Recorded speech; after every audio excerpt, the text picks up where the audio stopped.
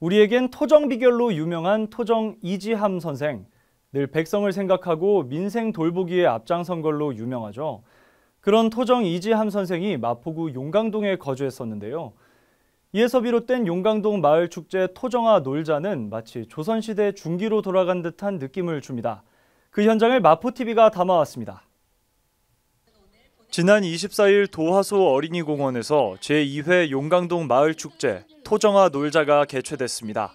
조선시대 중기와 현대시대의 융합을 목표로 한 이 행사는 관계자들이 조선시대 한복을 입고 진행해 분위기를 한껏 풍성하게 했습니다. 지역 주민 등 400여 명이 참석한 용강동 마을 축제엔 사진전, 전통놀이 체험, 전통 의상 체험과 다양한 먹거리 장터, 플리마켓 등이 열려 주민들의 발길을 잡았습니다. 한편 토정아 놀자 행사는 조선시대 중기 민생 돌보기에 앞장섰던 토정 이지함 선생이 용강동에 거주했던 사실에서 기인했습니다.